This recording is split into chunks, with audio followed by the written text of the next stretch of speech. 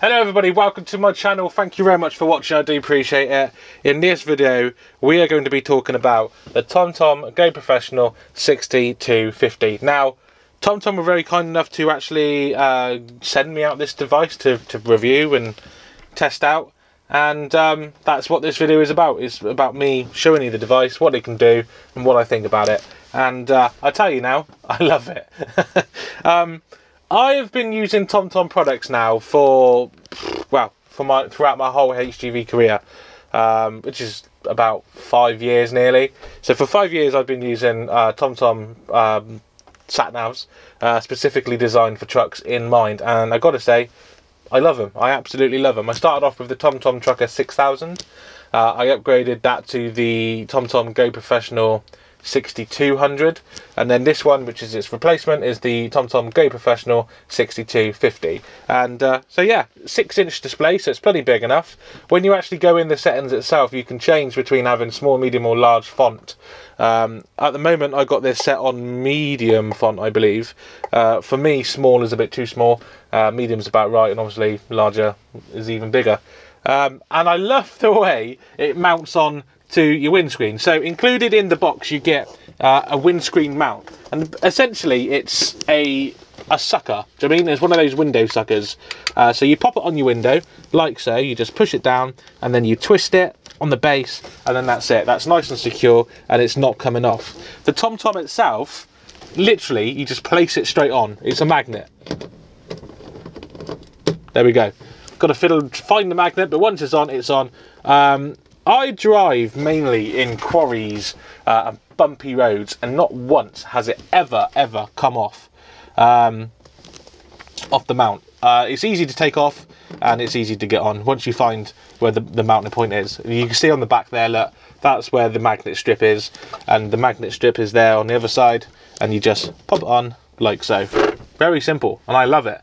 Um, I, in my car, have another mount so what I do at the end of my shift is I, I take the sat nav off, I put it in my bag, uh, and I, I, don't tend to use it in my car, if I'm honest with you, when I'm driving home from work. But if I was to go anywhere, then it's just there, ready to go. I get out of my bag, and I'll just pop it on like so. It's I, honestly, I love it. It's so much easier doing it like that, and I think everyone should be doing it like that. so built into the TomTom as well, you have live traffic updates, uh, and you should be seeing a clip on your screen now where I'm actually on site um, and there's roadworks outside of the site. Um, and because there's roadworks, there's traffic. So not only does the sat nav show you that there's roadworks, but it also shows you there's traffic as well. I think there's a three minute delay in traffic. So if we just have a look on the sat nav now live, I'm from Swindon, uh, which is my local area, and we can see that there's some red traffic up here. So the Pry there's a two minute delay in traffic going one way, and you know the other way there's roadworks because it's orange, uh, and you've got more roadworks there as well. Look. It also tells you when roads are closed. So if it's a red and a white line like here, it's a it's a closed road. You can click it, and it might tell you a little bit more information, but nine out of ten times it would just say it's closed. Um, but yeah, you know, it's really handy to have that because you you can at a glance have a quick look on any particular route that you may take, like uh, the A420 which goes up past Shrivenham. Look if I were to go this way, I know there's traffic coming the other way. I don't know why there's traffic, but there is. There's two minute delay right there. And if we go, if we go look at somewhere like London, for example, wow, look at all this traffic in London. Um, pretty standard, isn't it? Let's be honest. Now, one of the reasons why live traffic is so good is because if you were already on a route, already heading towards a destination, um, if the traffic or traffic jam appears, your your sat nav will automatically recommend a quicker route, and it's up to you to say whether you want to take that route or not. Um, I haven't got a demo on me at hand at the moment, but it will say a faster route has been found. Would you like to take? And then you use voice commands and you say yes or you say no. It's completely up to you. Um, but talking of voice commands, you can easily uh, tell your TomTom where to take you. Um, I can do it right now live, so I'm going to just make sure you can actually see. I do apologise, the sun's in the background a little bit, so it's a little bit hard to see. But you can say, hello TomTom.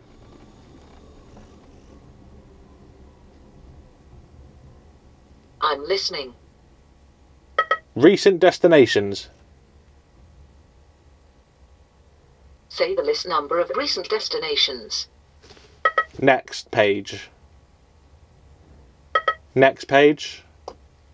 Um, and let's pick three. Finding the fastest route. there we go. Uh, just using voice commands, completely hands-free. We've now got a destination set in the sat nav. Uh, it's 28 minutes away. Look, you can see in the top right corner, and 16 miles. I like to have it alternating between miles and how long it's going to take. So here we go, though. So it says we've got 16 miles till we get to our destination, and we're 28 minutes away. At the bottom is our current time, and at the top is our uh, ETA. Um, this is called the route bar. On the route bar, it will tell you if there's anything up ahead as well. So, for example, there's a speed camera there. Look. So if you click on that, it will show you exactly where that speed camera is. It's a fixed speed camera. It's a 50 miles an hour road on the A420. The sat nav is telling you this. Um, when you get close to the speed camera, it'll also alert you with an audio cue, and you should be able to hear that now.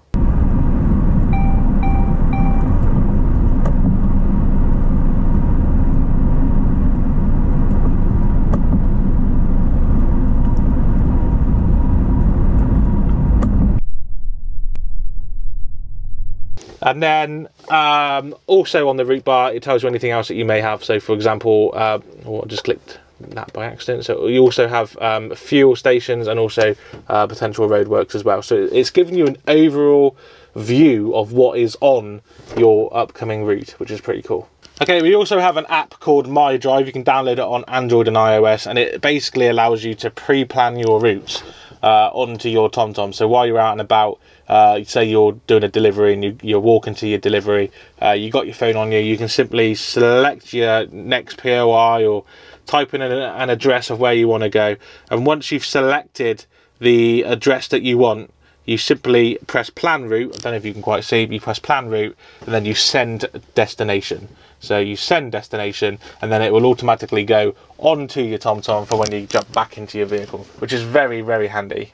Okay, so one of the main features in my opinion on the TomTom is the ability to change not only your vehicle's height uh, and width and length, but also your maximum speed and whether you're carry, carrying any hazardous material as well. And you can do that um, mainly by uh, setting in your destination and where you want to go really and then it'll ask you to confirm your details. But you can also amend it by going into settings clicking my vehicle and it will load up this page where it will allow you to change your length your width your height your your gross axle weight your maximum speed and whether you're carrying any hazardous material as well harmful to water explosive materials and general hazardous material.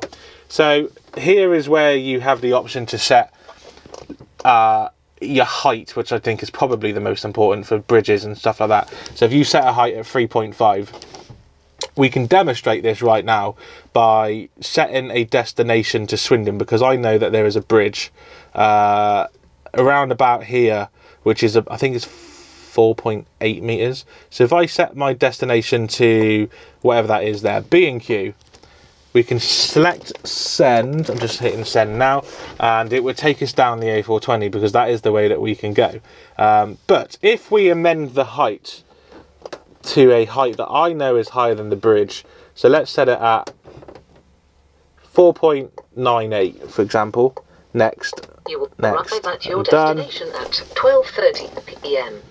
it should now recalculate a different route. Yes, it has. Look, so it's taken us down here, and rather than hitting the bridge over here, uh, the bridge is exactly here. Look, that's where the train track is. It's advising us to come off here and uh, go up there and come down here. You will arrive at your destination at 12:37 p.m.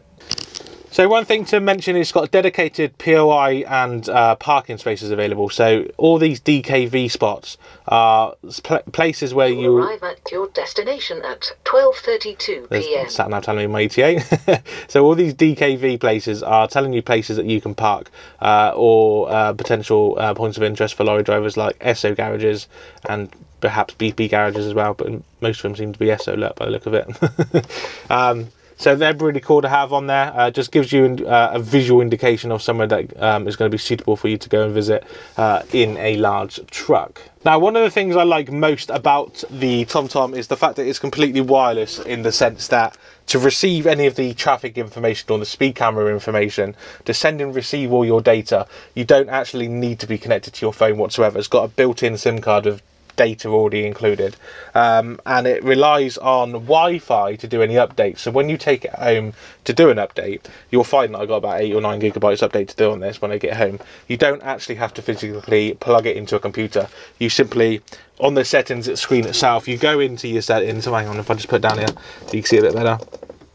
You go into your settings and you find your Wi-Fi uh, and then you put in your password for your Wi-Fi when you get home and it will allow you to do the update which is very cool um, doing it completely wirelessly you just got to make sure it's got enough power so we can actually download the updates so yeah, they're basically the main features on the TomTom itself. They're the ones I like the most. You have the ability to set your home and set your work for quick, um, like destination. So you can just say, TomTom, take me home. TomTom, take me to work, and it'll take you straight there.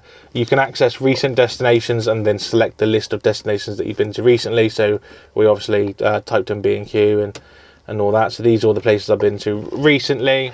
Uh, if we swipe across to the next page, you'll see you've got your current route where, which allows you to uh, amend your route and make any changes if necessary. All your places, so they're all the safe places. Your routes, your routes are done on your phone. Remember I mentioned the app earlier about uh, My Drive. So when you're at home, you can plan a route, save the route, and then when you get into your sat nav uh, the next morning, you just select your route. It's already planned out, ready to go. And Bob's your uncle. You can also record your route as well, so if you want to show anyone voice control uh, that will enable you to turn it on and off it'll also tell you what you can and can't say I'm listening. display my places Say the list number of a saved place. four Number 4. Is that correct? yes Finding the fastest route. so that's another way of acting that one as well uh, again it's telling us on route speed camera um, there's also a fuel station and also some roadworks in a second it's going to tell us what our ETA is so ignore that when it does tell us because we're not actually going uh, we can select petrol station so it tells us where our nearest You petrol station is your destination at 12:45 p.m. We can report a speed camera if we want to. If we're on the move, there is an option to press a button. Where is it? Let me let me press let's go. Uh, I pressed it twice then. Uh, there is an option. Normally it comes up down here when you're actually on a road. It tells you what your street road is, and it says plus. It's got a camera and with a with a plus symbol. That will enable you to actually report a speed camera. If you select that there, that will give you a list of all the roads you're going to be going on. So it's mainly A420, so you get the A419, then the M4, then uh, B road, then another A road. So that gives you a step-by-step list of the route if you were to click that up there. Uh, if we go back to the menu because we never quite finished, so that was the speed camera. We then got the settings. We got um, the question mark. If you, if you press it, it just gives you a bit more information. So here you can see there's a TomTom Go Professional 6250, uh, and then a little bit more information if you uh, so require. But um, yeah, I do like it. You can you can go into the appearance. You can you can set everything so it looks different. You show you motorway exits. You can change change the size of the font, the route bar, the display. Uh, you can change like the theme color if you wanted to. So if you want to go for like party pink, you can. If you want to go for serene green, you can. Let's go for a green color so it's slightly different. Um, if we just go back, so there we go. Now we've got a green route going down instead. So yeah, that's the TomTom Go Professional 6250. Like I said, fantastic device. I absolutely love it. And if you want to get one yourself, you can by clicking the link down below in the description. Uh, there's an offer on at the moment where you get 20% off if you use my discount code, uh, which is Luke, just my name, L-U-K-E. so uh, type Luke into the uh, promotional code, you get 20% off, uh, or click the link down below. It take you straight there, and I think it automatically applies the discount for you. Uh, and it's a massive saving with that 20% discount. So yes, uh, if you are interested, go ahead and uh, go and purchase one. Thank you very much for watching. I do appreciate it. Until next time, drive safe, stay safe with your TomTom Go Professional 6250, and I will see you soon. Bye bye.